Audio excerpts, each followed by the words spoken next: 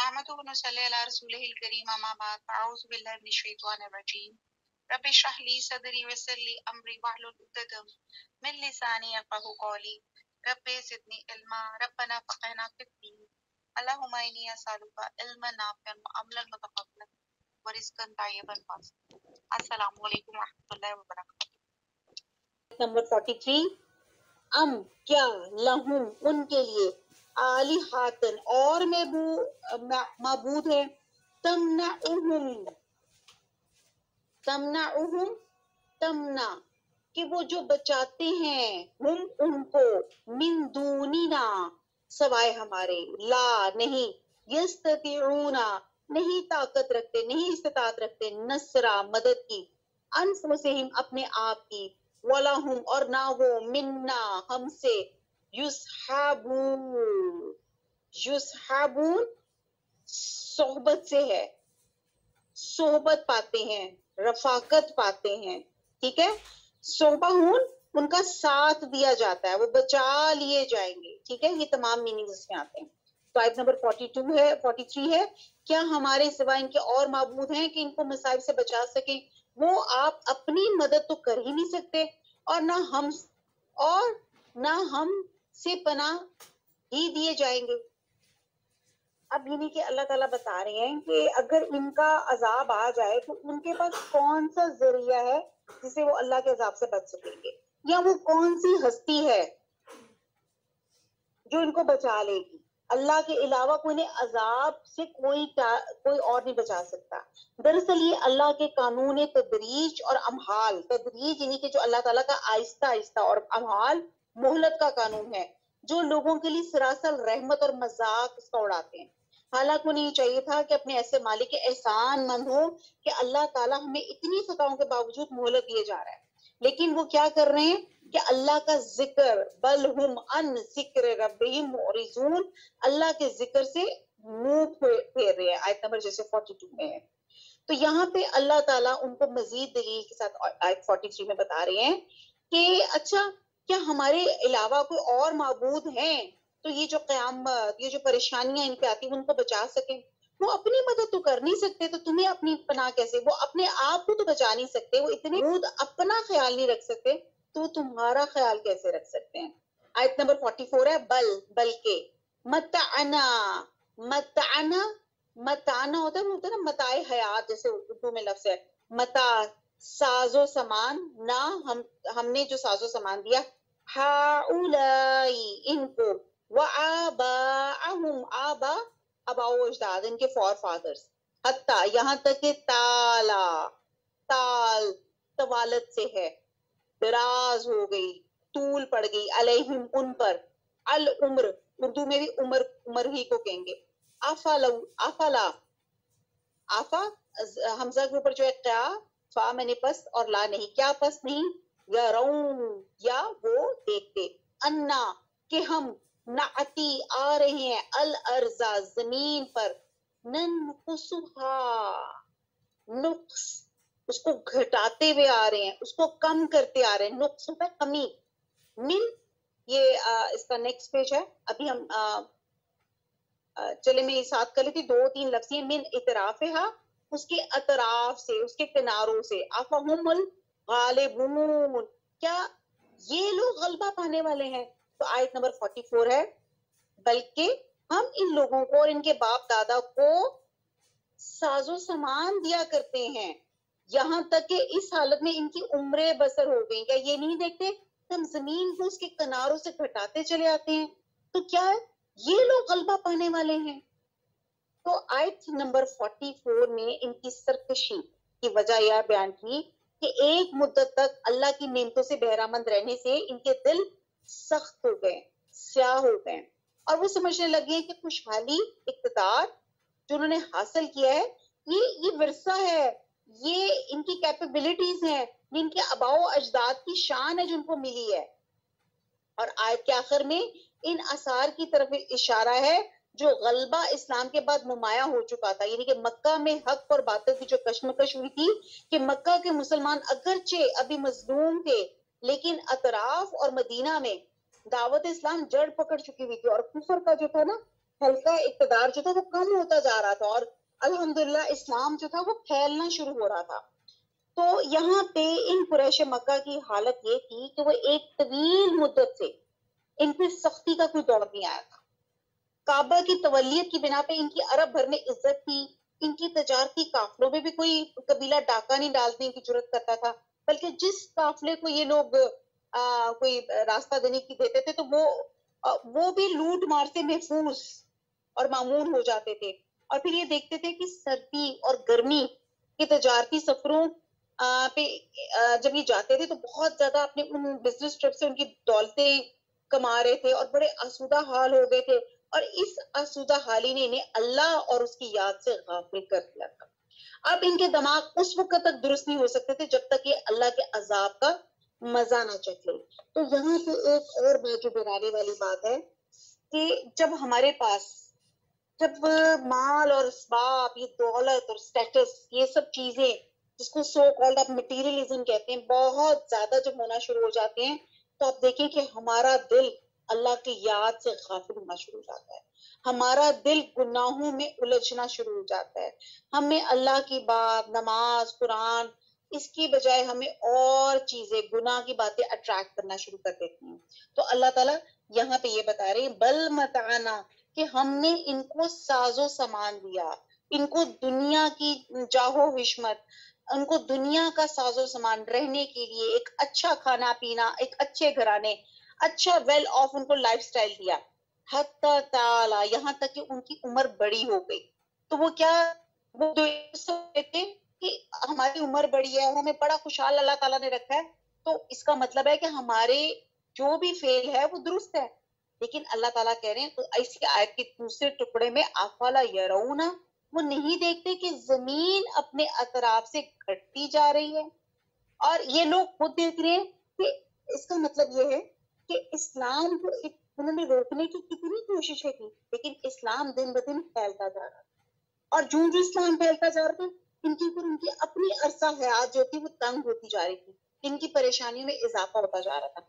और इसका दूसरा मतलब यह है कि जिस इलाके में इस्लाम आया, वहाँ से कुफर रुखसत हो गया।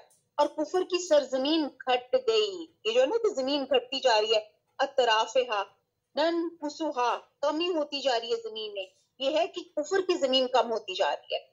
और ये सिलसिला बदस्तूर जारी है। कुफर का इलाका, ये सरजमीन घटती, सिमटती और सुकड़ती जा रही है। और इस्लाम की सरजमीन अल्हम्दुलिल्लाह बढ़ती जा रही है। और जिसका आगाज़ हो चुका है, ये सब कुछ देखने के बाद भी हम इस वह में मुबतला है कि हम इस्लाम को दबा लेने में कामयाब हो जाएँगे। और क्या इसका बोल बाला नहीं होगा?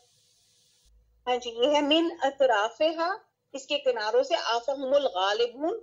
तो क्या ये लोग गलबा पाने वाले हैं? यानी कि काफिर लोग, ये किस खाम ख्याली में है? आयत नंबर 45 कुल कह दीजिए इन नमा बात ये है उन ज़ीरो कुम उन ज़ीरो होता है डराना। कुम तुम्हें, मैं डराता हूँ तुम्हें बिल वाहशी, वही के मुताबिक, वही के साथ। वाला और नहीं, यस्माऊ समाज से है। और नहीं सुनते, सुम्मू, बहरे अदुआ दुआ। क्या होती है? पुकारना।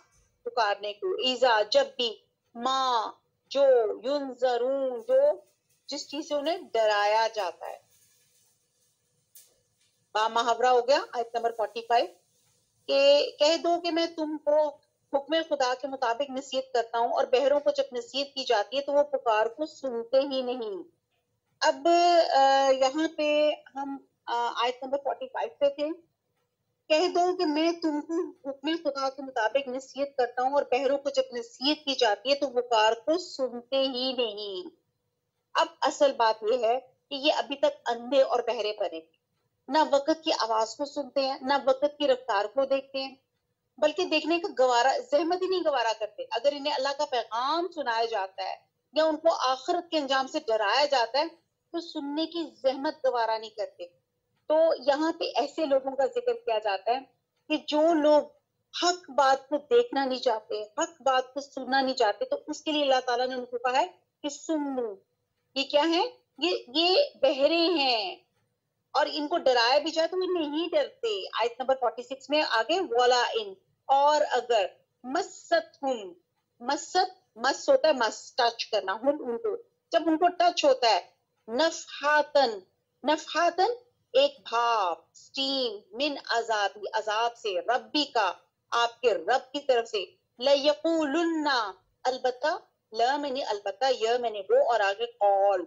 और अलबत्ता ज़रूर कहेंगे, या वैलना, वैल कहते हैं हलाकत को। और ना हमारी, हाय हमारी हलाकत, हाय हमारी कमबख्ती।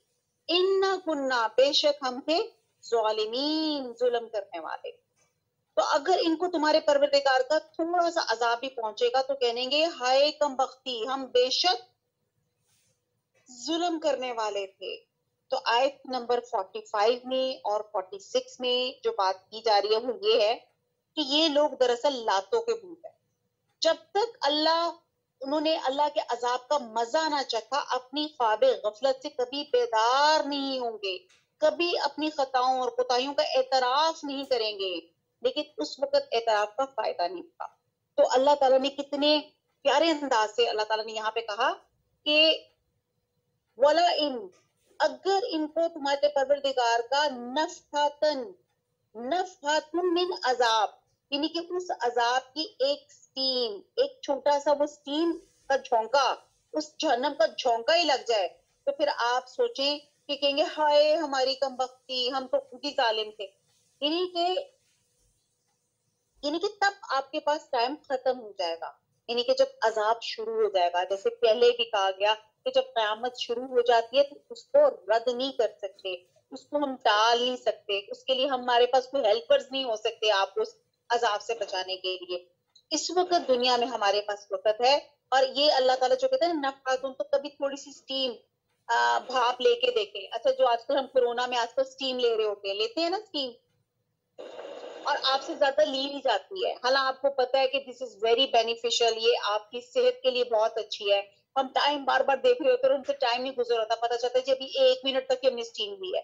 और अगर वो पानी बहुत ज़्यादा गर्म हो तो फिर आप देखिए कि आपको चेहरा रखा जा सकता है।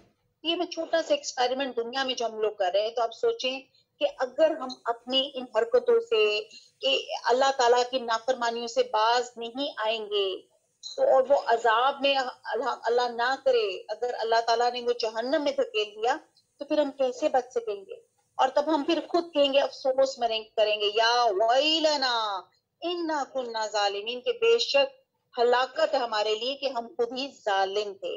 आयत नंबर 47 व नजाऊ व और नजा नजाऊ ये है जैसे वजा कतानी थी कि हम कायम करेंगे।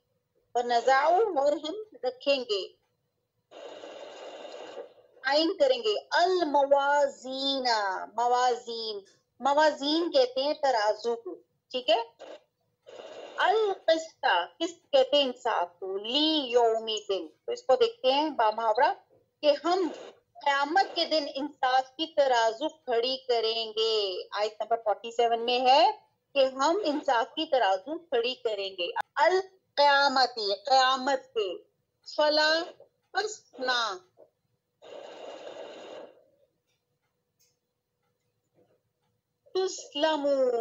तो मैंने तुझे। और ता तुम पे जुल्म किया जाएगा। नफ्स सुन, किसी नफ्स पे शई आप कुछ भी। व इन अगर होगा मिसकाला मिसकाल होता है बराबर। हब्बत हब्बदिन एक दाने के बराबर हब कहते दाने को। मिन। खरदलिन। खरदलिन, ये आप याद कर ले। खरदल होता राई के। आतना हम लाएँगे या हम हाजिर करेंगे। बिहा, साथ इसको वाकफा और काफ़ी है। बिना साथ हमारे हाथ से भी हिसाब लेने वाले। आयत नंबर 48 में अल्लाह ताला कहते हैं कि हम क्यामत के दिन इंसाफ की तराजू खड़ी करेंगे तो किसी शख्स की जरा भी हक तलफी ना की जाएगी। और अगर राई के दाने के बराबर भी किसी का अमल होगा, हम इसको ला हाजिर करेंगे। और हम हिसाब करने वाले काफ़ी हैं। अब आयत नंबर 48 में अल्लाह सुबहाना ताला ने वज़न का बड़ा उमदा स्केल मेजरमेंट्स करने का बड़ा अल्लाह ताला ने तरीका बताया। इस लफ्ज में, इस आयत में मवाजीन का लफ्ज इस्तेमाल हुआ है, जो मेजान, यानी कि तराजू की जमा है। इसका एक मतलब तो यह है कि हर शख्स के लिए अलग अलग तराजू रखा जाएगा और दूसरा ये कि मुख्तलिफ़ अमाल की नौयत के मुताबिक आपके मुख्तलिफ़ उसके मेज़रमेंट स्केल्स जो होंगे वो फ़र्क होंगे। ठीक है जी? और ये हकीकत तो अल्लाह ताला ही बेहतर जानता है कि अमाल की हकीकत का सही सही अंदाज़ा करने में अल्लाह ताला किस तरह की तराजू इस्तेमाल करेगा। आ, आ, आप कंफ्यूज क्यों नहीं हो रहे? यहाँ पे आपके अमालों की मेजरमेंट्स की जा रही अब देखिए हम लोग नेकी करते हैं। नेकी तो कोई नज़र नहीं आती। तो नहीं अल्लाह ताला कैसे मैयर करेंगे। तो अल्लाह ताला यहाँ पे अल्लाह ताला ने जब हम हल्की सी हल्की गैस है हीलियम उसकी भी हम गैस का एक कर रहे थे ना कि इतना इसका वेट है। तो अल्लाह ताला हमारे अमाल का भी वेट करेगा। उसके लिए दो तीन राय हैं। एक तो कहा जाता है कि जो आपके अमाल है, उनको एक फ़िज़िकल वेट दे दिया जाएगा। अब वो फ़िज़िकल वेट डिपेंडिंग के आपने जैसे, आज जैसे आपने एक बात आज कुरान क्लास में सुनी, उसके बाद आपने वो जाके दो दोस्तों के साथ शेयर की। उन दो दोस्तों ने आगे से फिर दो दोस्तों के साथ शेयर की। तो आपका जो हिसाब है, उसका जो मेजरमेंट्स है, उसको फ़िज़िकल जो वेट दिया जाएगा, एक आपने सुना, दो आपने बताया, तीन, उन्होंने आगे चार लोगों को बताया तो उसका वेट हो जाएगा सेवन और सेवन लोगों ने फिर आगे से सात लोगों को बताया तो चौदह. तो आपका इस तरह हिसाब जो फ़िज़िकल वेट है, अल्लाह ताला आपकी उस नेकी के अमल को डिपेंडिंग कि वो कितना माशाल्लाह आगे जाता है, अल्लाह ताला एक वेट अनायत कर देंगे। और फिर वो वेट जो होगा आपका, उस तराजू में अल्लाह ताला उसको तोड़ लेंगे। या आप देखें कि एक शख्स पूरी खुशी के साथ नमाज़ पढ़ता है, ठीक है? और दूसरा क्या है? नमाज़ भी पढ़ा है, लेकिन जमात में भी शामिल हो रहा है। और एक क्या है? नमाज़ पढ़ रहा है, लेकिन उसके बयान कहीं और है। ओ हांडी रखी हुई थी। ओ, बच्चा रो रहा था। ओ, मैं, मुझे लग रहा है मैं स्त्री जलाती छोड़ आई हूँ। या आप कुछ कपड़ों के डिज़ाइन दिमाग में चल रहे होते हैं, कोई शॉपिंग करके आ रही होती है या आपने फ़िल्म का सीन वो जेन में वो चीज़ आ रही होती है। क्योंकि हमारी जो आई एम सॉरी टू से हमारी जो नमाजें होती है ना ड्रामों के इंटरवल्स में चल रही होती है। और हम कहते हैं अच्छा जल्दी से नमाज़ पढ़े इंटरवल में और जल्दी से वापस आके भी कंटिन्यू वो ड्रामा जो हमने वहाँ से आप देखना शुरू कर दें तो आप देखेंगे इस शॉर्ट और इस तरह अगर आप एक नमाज़ पढ़ रही हैं तो मुझे ये बताएँ कि और कुछ की नमाजी ऐसी होती है जैसे कोई खुदकार आला जिसका स्विच दबाया गया हो। ठीक है? कैसे? वो मेरे जैसे बंदे की, कि वो खड़ा हुआ नमाज़ पढ़ने जल्दी से सुबहाना कला से शुरू किया और ये इस्लाम फिर आइए क्या फास्ट फॉरवर्ड नमाज़। दरमियान से बंदा पूछे कि भाई क्या पढ़ा था? तो बंदा सोच बता हाँ पढ़ा तो सब कुछ था। अच्छा इतना फास्ट फॉरवर्ड ठीक है? तो अब आप सोचे कि एक नमाज़ है, उसमें डिफरेंट लोगों की सूरत हाल है। तो आप देखिए कि हर एक का स्केल उसकी मेज़रमेंट उसका जो अल्लाह ताला अमाल का जो स्केल उसका वेटेज दिया जाएगा, वो और तरह का दिया जाएगा। जो जमात में जाके नमाज़ पढ़ा, उसकी वेटेज उसका वेटेज ज़ाहिर ज़्यादा होगी। जो खुशू खुशू से पढ़ा, उसकी वेटेज और तरह से ज़्यादा होगी। और एक बंदा जो बिल्कुल, जिसको कहते हैं गलो उतार रहा है, जिसको मतलब बिल्कुल, जिसको कहते हैं एक, बहरहाल सवाब तो उसको भी मिलेगा, लेकिन उसकी वेटेज फ़र्क होगी। समझ आ रही है? कि हर काम जो आप करते हैं डिपेंडिंग आपकी नीयत कितनी खालिश है, अल्लाह की रजा को सामने देखते हुए कर रहे हैं, दिखावे की कर हैं तो अल्लाह ताला हर चीज़ को उसका वेट अल्लाह ताला असाइन कर देंगे। और और ये तो वो बातें होगी जो बातनी मामला हैं, जिनका और कुछ वो चीज़ें होती हैं, जैसे यानी कि जो बिल्कुल क्लियर कट नज़र आ रही होती है, और कुछ चीज़ें होती है अंदरूनी। जिसको सिर्फ़ अल्लाह के अलावा कोई नहीं जान सकता, जैसे आपकी नीयत। तो ये अल्लाह ताला तमाम चीज़ों को जानते हैं। तो एक हदीस है, जिसको हदीस बताका के नाम से मशहूर है। सॉरी और वो हदीस कुछ यूँ है समरा, आप तो प्लीज़ माइक ऑफ़ कर दें। कयामत के दिन एक शख्स को पुकारा जाएगा। जिसके नन्नवे गुनाहों के दफ्तर होंगे। उससे पूछा जाएगा, देखो, इन दफ्तरों के जो उसके अंदर अकाउंट्स और जो चीज़ें लिखी हुई है, दुरुस्त हैं कि नहीं? ठीक है? जैसे फॉर एग्ज़ाम्पल आप ग्रोसरी लेती हैं। ग्रोसरी के बाद आपको टिल से वो आपको पर्ची देता है ना कि ये ये चीज़ें आपने खरीदी है। तो उसके बाद आप मैच करती फिरती हैं कि हाँ हाँ मैंने ये ये चीज़ भी खरीदी थी, ये भी चीज़ खरीदी थी। तो इसी तरह आपकी दुनिया में, ज़िंदगी में जो अमाल होंगे, आपकी एक लिस्ट बनती जा रही है, ठीक है? और वो लिस्ट क्या है? एक वो करामन कातबीन भी बैठे हुए ना, जो एक एक गुनाह का काम लिख रहा है, एक नेकी के काम आपके लिख रहा है। तो यहाँ पे ये भी कहा जाता है कि उनके भी आपके, उनकी वेटेज भी होगी कि गुनाह के काम ज़्यादा है ये नेकी के काम ज़्यादा है। ये इस तरह भी होगी। या आपको जैसे मैंने भी पहले बताया कि आपके गुनाहों, आपकी सॉरी आपके जितने अमाल है, अल्लाह ताला उनको एक फ़िज़िकल वेट अता कर देंगे। उस हिसाब से वेटेज जो उनको तराजू में तोला जाएगा। तो बहरहाल यहाँ पे हदीस बताका की बात की जा रही है कि एक क्यामत के दिन एक शख्स को पुकारा जाएगा जिसके नन्नवे गुनाहों के दफ्तर होंगे। और उसे पूछा जाएगा कि देखो, इन दफ्तरों के मंदरजात इनके इसमें करेक्ट फाइंडिंग्स लिखी हुई है, तुम्हारी करेक्ट मेजरमेंट्स लिखी हुई है मेरे करामन कातबीन ने तुझ पे कोई ज्यादती तो नहीं कही? वो कहेगा ए परवरदिगार, ये सब कुछ दुरुस्त है। फिर अल्लाह ताला पूछेगा, क्या तुम्हारी कुछ और नेकियाँ हैं? तो कहेगा, कोई नहीं। तो अल्लाह ताला फरमाएगा, तुम्हारी नेकियाँ भी हैं, और आज के दिन किसी पे जुल्म नहीं होगा। फिर उसके लिए एक पर्ची निकाली जाएगी जिसपे लिखा होगा, आप सब मेरे साथ दूसरा कलमा पढ़े। अशहदु अल्लाह व अशहदु अन्ना मोहम्मद ये दर्ज होगा। कहेगा, ए परवरदिगार, इन नन्नवे गुनाह के दफ्तर के मुकाबले में इस पर्ची की क्या हैसियत है? क्या हकीकत है? अल्लाह ताला फरमाएँगे, आज तुझ पे कुछ ज़्यादा नहीं होगी। चुनाचे मेजानल अमाल के एक पलड़े में गुनाहों के नन्नवे दफ्तर रखे जाएँगे और दूसरे में ये पर्ची तो गुनाहों का पलड़ा ऊपर उठ जाएगा। और पर्ची वाली नेकियों का पलड़ा भी भारी निकलेगा।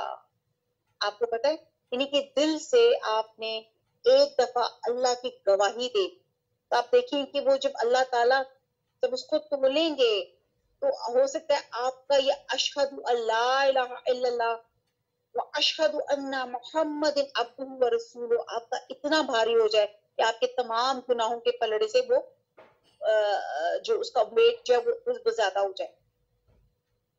लेकिन यहाँ ये बात खास तौर पे रखनी चाहिए कि अदल या किस्त की जिद जो है, इलम है। यहाँ पे कहा जा रहा है ना जुलम है कि जुल्म आपके साथ इंसाफ होगा, क्योंकि जुल्म अल्लाह ताला के शान से मुनाफी है। लिहाजा ये मुमकिन नहीं है। अल्लाह ताला किसी के छोटे से छोटे अमल का भी बदला नहीं देगा। तो यहाँ पे कहा जा रहा है ना, राई के बराबर। तो अल्लाह ताला आपका मिन्यूट आपका एक मल्टी फ्रैक्शनल बहुत छोटा माइक्रोस्कोपिक भी अमल है। तो अल्लाह ताला आपको इसकी भी जजा देंगे। ठीक है? जिसके लिए मैं अक्सर एक एक वाक्य कोट करती हूँ कि जैसे आप गाड़ी में जा रहे हैं, आप सिग्नल पे खड़े हैं, एक भिखारी आपके पास आया और आपने उसको देने के लिए अपना पर्स खोला कि मैं उसकी मदद करूँ। और देखा तो सामने बड़े नोट थे, जितनी देर में आपने पाँच हज़ार का नोट पीछे किया, फलाना क्या कि मुझे छोटी सी को रेस गाड़ी को दस का नोट मिल जाए उसको जब करने लगे तो सिग्नल ऑन हो गया और आपकी गाड़ी चल पड़ी। और वो भिखारी पीछे रह गया और आप आगे चले गए। और आपको पता है, आपकी इस नियत पे कि आप उसको मदद करना चाह रहे थे, उस नियत पे भी आपको अजर मिल जाएगा। ऑल दो आपने भी मदद नहीं की और अल्हम्दुलिल्लाह अगर आपने उसकी मदद कर दी तो फिर आपका अजर और मल्टीप्लाई हो जाएगा। ठीक है जी? तो बहरहाल, यहाँ पे कुछ लोग ये मसला भी निकाल लेते हैं कि जी वो प्रोफेशनल बकारी है या फलाना है, वो एक लंबी और तरह की बहस है। बहरहाल, यहाँ पे मदद की बात की जा रही है। ये जितने सदके दिल से आपने मदद किसी की की है। तो उसी तरह के आपका जो फ़िज़िकल वेट है, उस अमल का ज़्यादा बढ़ जाएगा। और हकूकल आबाद का अगर मामला है तो बंदों को अपनी तरफ़ से उनके हक अता करके मुजरम को माफ़ कर देगा। तो सब कुछ मुमकिन है, लेकिन अल्लाह से जुल्म मुमकिन नहीं है। फिर एक और बात, अल्लाह ताला फरमाते ये प्लीज़ दुआ पढ़ ले। अल्लाह ताला फरमाते हैं कि ऐसा हमें हिसाब लेना आता है। हम अमाल के हकाय की तयन को भी खूब जानते हैं। किसी को राई भर अमल को भी उसके अगर वो उसने किया होगा, अल्लाह ताला उसको भी देख लेगा। और जिसकी और अल्लाह का हिसाब आखिरी होगा। और जिसकी ना कोई पड़ताल करने का हक रखता है, ना उसके खिलाफ अपील हो सकती है और कोई दूसरा अल्लाह ताला के मुकाबले में मदद नहीं कर सकता। जैसे आप यहाँ पे होता ना, दुनिया में एक कोर्ट में आप अपना करते हैं, मामला मुकदमा पेश करते हैं, फिर उसके बाद हाई कोर्ट में, सुप्रीम कोर्ट में और कहाँ कहाँ आप लोग जाते हैं अपने मुकदमा को लेके। लेकिन जब अल्लाह सुबहाना ताला एक चीज़ के बारे में फाइनल वर्डिक फाइनल डिक्लेयर कर देंगे, आपको रिजल्ट्स दे देंगे वो फाइनल हो उसके बाद उसमें कोई चेंजेस नहीं आ सकती, कोई और जो है उसमें कोई अमेंडमेंट्स नहीं कर सकता। तो अल्लाह ताला ने यहाँ पे ये बहुत बड़ी हकीकत आयत नंबर में ये लिखी हुई है। 48 में कि ये अल्लाह का हिसाब है। और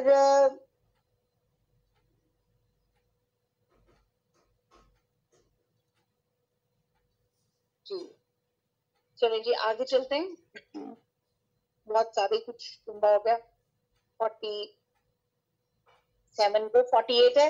वलाकत और अलबत्ता तहकीक आतना, हमने अता की। मूसा मूसा को, व हारून और हारून को, अल फुरकान फुरकान हक और बातिल फ़र्क करने वाली, यानी कि फैसला कुन किताब। व ज़ियाअन, ज़िया कहते हैं रोशनी को, व जिक्रन और नसीहत। लिल मुत्तकीन परहेजगारों के लिए। आयत नंबर 48 में है कि हमने मूसा और हारून को हदायत और गुमराही में फ़र्क कर देने वाली और सरतापा रोशनी और नसीहत की किताब अता की। यानी कि परहेजगारों के लिए। अब अल्लाह ताला ने आयत नंबर 48 में तौरात की, यहाँ पे खसूसियात बताई जा रही है। क्योंकि हज़रत मूसा और हारून की बात की जा रही है तो हज़रत अल्लाह ताला ने हज़रत मूसा पे तौरात उतारी थी। और अल्लाह ताला फरमा रहे हैं कि अल्लाह ताला ने अपने अपने जो रसूल गुजरे, अल्लाह ताला ने उन पे किताबें भी उतारी और इन किताबों में सबसे सर फहरिस्त जो है तौरात है, जो हमने हज़रत मूसा अलैहिस्सलाम को अता फरमाई। और ये इस तौरात की जो यहाँ पे करेक्टरिस्टिक्स बताई जा रही हैं, किसी आयत को अगर आप गौर से देखें तो उसमें लिखा हुआ फुरकान। यानी कि ये हक और बातल में इम्तियाज़ करने वाली किताब है। नेकी और बदी में डिस्टिंक्शन करने वाली किताब है। इनके आपस में खिलाफात की हकीकत वाजिया करने वाली, सही रास्ता दिखाने वाली किताब है।